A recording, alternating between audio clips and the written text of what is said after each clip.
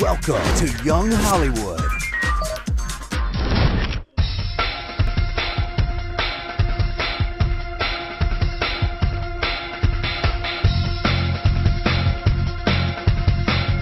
I'm Torrance Coombs.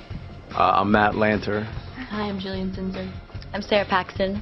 Talk to me about when you guys first read the script. It's kind of a crazy plot. What was your reaction to the script? It's hard because sometimes you get a script and you you're on page 25 and it feels like page 80. And when I was reading this script, I I couldn't put it down. I was having people come over and I was like, yeah, just make yourself comfortable. And I was like, I had to finish. Have you guys worked together in the past? Any of you?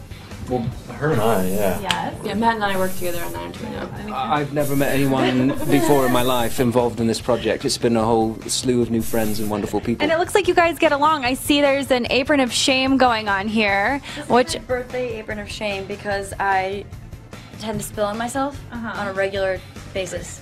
So Yeah. They make me wear the apron of shame now, which is it's actually That's amazing. it's actually a really cute apron of shame. I love it. Yeah, so I'm okay with it. It's like the apron of glory, She actually. makes a, a nice Martha. Yes. so out of all of you guys, who would you say is like the prankster of the group? Yeah, well, I mean, she hasn't pulled any pranks, but she's fun to laugh At. at and with. Occasionally with, Occasionally with. mostly at. Why is this movie so top secret? You've got. Who But, done it? Well, Who, who done Here's it? the thing: you don't really, you don't know till the end, so you've got to watch and find out. I feel like it's you. You're just so innocent. You're so innocent looking. And I'm like, hee. But With your apron. it's oh an illusion with my apron.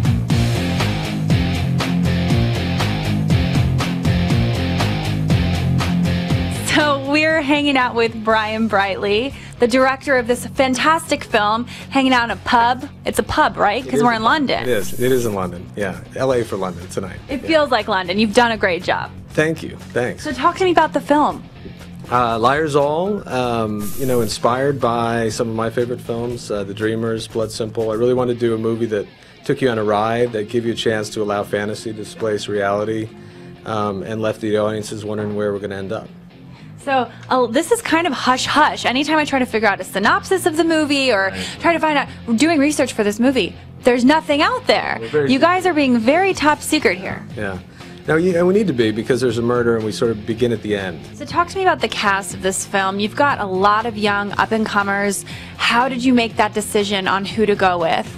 You know, we auditioned um, hundreds.